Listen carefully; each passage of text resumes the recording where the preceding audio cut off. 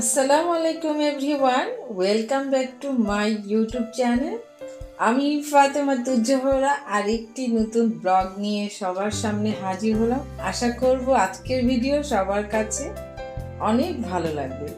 অনেক দিন পর আসলে ভিডিওটা আমার এডিটিং করা সব কিছুই তৈরি, তবে ছাড়তে পারছিলাম না সময়ের অভাবে।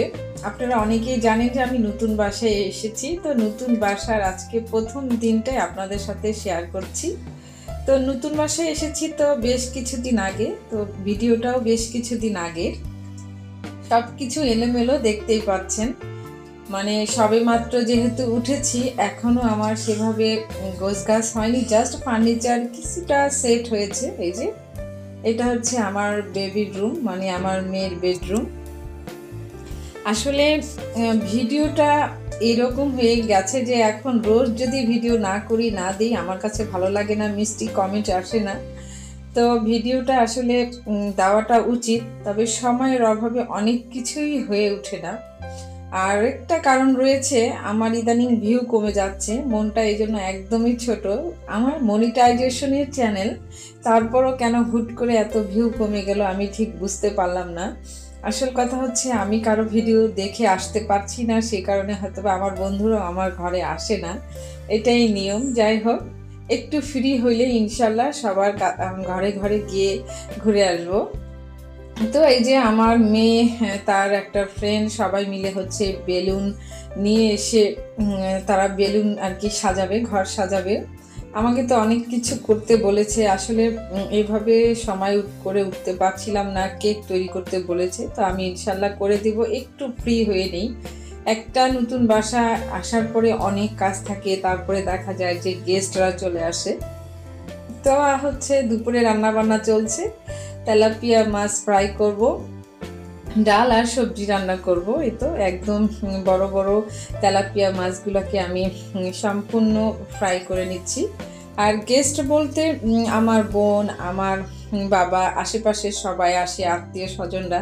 যেহেতু অনেকেই জানে আমি নতুন বাসায় উঠেছি, তো সবাই দেখতে আসে, যারা মিলাদে আসেনি তারা আসে। তো দেখা যাচ্ছে চব্বিশটা ঘন্টায় মানে চব্বিশ ঘণ্টা বলতে দিনের বারো ঘন্টায় লোকজন থাকছে বাসায়। সন্ধ্যা রাত পর্যন্ত, আর আমার বাবা বোনরা তারা তো আছেই আমার আশেপাশে সবাই থাকে। তো এইভাবে আর হয়নি ভিডিওটা করা। তো এই তো এলোমেলো সংসারের একটা ভিডিও নিয়ে আপনাদের সামনে হাজির হয়েছি।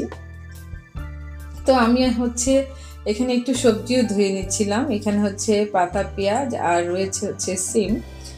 তো সেটা ধুয়ে নিচ্ছিলাম। ইনশাল্লাহ সব কিছু একদম ক্লিন করে আপনাদের সামনে প্রেজেন্ট করো আর আমি আমার এই রান্নাঘরটা অনেক শখ করে সাজিয়েছি। তো এটা হচ্ছে সন্ধ্যার দিকে। আমার মেয়ে একটু ঘরটাকে সাজিয়েছে। তো আপনাদের সাথে সেটা শেয়ার করলাম। সে বেলুন ফুলিয়েছে সব কিছু দিয়েই আর কি ঘরটাকে সুন্দর করে সাজিয়েছে। সে তো ভীষণ খুশি নিজের বাসায় উঠে। তবে আমার এই বাসার এখনও ফুল কাজ হয়নি। মানে আমি এখনও মেঝে টাইস করিনি। জাস্ট রান্নাঘর আর ওয়াশরুম টাইস করা হয়েছে আর কি। তো অনেক কাজই বাকি, অনেক। একটা বাসায় দেখা যায় যে মানে অনেক কাজ থাকে। এটা বলে আর আপনাদেরকে কি বুঝাবো? তো যাই হোক, একই ভিডিও সম্ভবত দুইবার আসছে। মানে একটা বাসা নিম্নে দুই দুই এক মাসেও কাজ শেষ হবে না। তারপরও আমি উঠেছি যে বাসায় উঠে তারপরে বাকি কাজগুলা মানে করে নেব। যেহেতু ভাড়া বাসায় ছিলাম, তাই ভাবলাম যে না ভাড়া বাসায় এভাবে থাকাটা ঠিক না। নিজের বাসায় কোনো মতো যদি উঠা যায় চলার মতো, তারপরে নিজের বাসায় থেকে তারপরে সব কিছু মানে করে নেওয়া যাবে। তো সেই কারণেই উঠা উঠা আর কি। তো এদিকে হচ্ছে ওর বাবা সন্ধ্যায় কিছু নাস্তাও নিয়ে এসেছে। বললামই তো যে সবসময় লোকজন আসে, তো আমি একটু আমাদের যে বৈশাখী মিষ্টির দোকান, সেখান থেকে লাড্ডু আনতে বলেছি। দেখা যায় যে সবসময় সবাই মিষ্টিটা পছন্দ করে না, লাড্ডুটা হালকা মিষ্টি থাকে, তাই ওটা পছন্দ করে। আর যারা ডায়াবেটিসের রুগী, তাদের জন্য ও লাড্ডুটা ভালো কারণ মিষ্টিটা খুব একটা বেশি থাকে না। তারপরে নিমকি নিয়ে আসা হয়েছে। তো এসব ঘরে রাখাটা দরকার সবসময় যেহেতু লোকজন আসতেছে নিজের বাসা দেখতে তো তাদেরকে তো খালি মুখে ফেরত দেওয়াটা ঠিক না তাই আর কি নিয়ে আসা।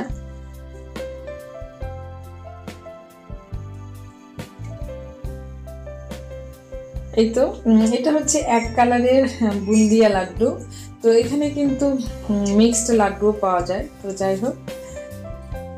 আমি এখন হচ্ছে সন্ধ্যার নাস্তাটা তৈরি করে নেব তো নাস্তা বলতে আজকে এইসবই থাকবে, লাড্ডু, তারপরে হচ্ছে নিমকি আর চা তৈরি করে নেব তো চা তৈরি করার জন্য রান্নাঘরে চলে এসেছি। আর যেটা বলছিলাম যে আমার রান্নাঘরটা আমি অনেক শখ করে সাজিয়েছি, হালকা কালারের টাইলস দিয়ে। দেখা যায় অনেকের বাসা আমি দেখেছি গাঢ় গাঢ় কালারের, লাল কিংবা সবুজ কালারের টাইলস দিয়ে তারা রান্নাঘর সাজায়। তবে আমি পুরো রান্নাঘরটাই একদম হালকা সাদার মধ্যে টাইলস দিয়েছি। আমার কাছে কেন জানি সাদা রঙটা খুব বেশি ভালো লাগে, তো এই জন্যই। আর বিভিন্ন জায়গায় লাইটের ব্যবস্থা করেছি আমার ভিডিওর জন্য। যেমন আমি এখন যেখানে ভিডিও করছি, তার উপরেও লাইটের ব্যবস্থা করেছি। মানে আমার রান্নাঘরটা একটু সুন্দর করে সাজানোর কারণ এটাই যে আমি এখানে ভিডিও করি, আপনাদের সাথে শেয়ার করি। আপনাদের ভালো লাগার জন্যেই আমার রান্নাঘরটা সুন্দর করে সাজানো। ইনশাল্লাহ সামনের দিকে আরও সুন্দর করে আপনাদের সামনে প্রেজেন্ট করব। তো এই তো চা নিয়ে যাচ্ছি। তো ড্রয়িং রুমে চলে আসলাম চা নিয়ে। আর এদিকে তো ওরা মজা করছিল। আমার মেয়ে, বেবিরা আর কি সবাই গান ছেড়ে দিয়ে তারা একটু আর কি মজাই করছিল। আর সমস্ত ঘরেই তো বেলুন দিয়ে আর কি সাজিয়েছে। তবে কেকের আয়োজনটা আমি করতে পারিনি। মানে কেক বানানোর জন্য একটা সময়ের দরকার, সেটা ক্রিম দিয়ে তৈরি করা ফ্রস্টিং করা, তো সেই সময়টা আর কি আমি পাইনি। তবে আমার মেয়েকে বলেছি, ইনশাল্লাহ আমি দু একদিনের মধ্যে তাকে কেক তৈরি করে দেব। তো নাস্তা খাচ্ছিলাম আর ওদের সাথে একটু মজাই করছিলাম, ভালোই লাগছিল। ওরা আনন্দ করছিল সাথে আমি দেখছিলাম, আমার কাছে তো ভালোই লাগছিল। তো যাই হোক, এ ছিল আমার আজকের মতো ছোট্ট একটা ভিডিও। তো ভিডিওর শুরুতেই কিন্তু আমি লিখে দিয়েছি, যারা চ্যানেলে যে কোনো কাজের কাজ করাতে চান, যে কোনো subscribe watch time view monetisation on পর্যন্ত, আপনারা চাইলে আমার ডেসক্রিপশনে দেওয়া নাম্বারে ফেসবুকে হোয়াটসঅ্যাপে যোগাযোগ করতে পারেন। আর আরেকটা কথা বলে নিই বন্ধুরা, যারা আজকে আমার চ্যানেল ফার্স্ট ভিজিট করবেন প্লিজ আমার চ্যানেলটি সাবস্ক্রাইব করবেন। আর আগামী কোনো ভিডিওতে আপনাদের সাথে আবার দেখা হবে। আজকের মতো এখানে বিদায় নিচ্ছি। সবাই ভালো থাকবেন, সুস্থ থাকবেন। আল্লাহ হাফেজ।